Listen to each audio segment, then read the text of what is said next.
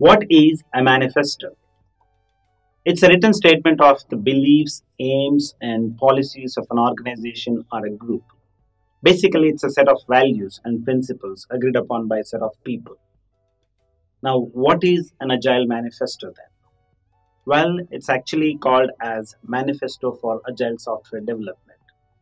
It's a set of four values and 12 principles. Now, how did it come into existence? In early 1990s, there were 20 odd sane software developers who were not happy with the way their organizations developed products.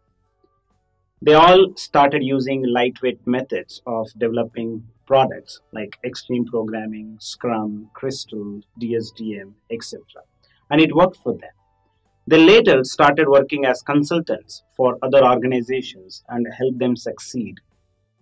These revolutionaries used to meet often at conferences and meetups. After getting their hands dirty with new ways of working and seeing organizations succeed, they decided to meet and spread their knowledge across the globe.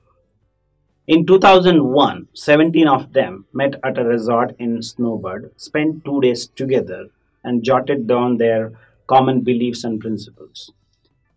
And they wanted to give this a name, and they came up with a word called as adaptive. Unfortunately, this was trademarked for a business. Hence, they went for second choice of word called as agile. So these are called as Manifesto for Agile Software Development or for short Agile Manifesto.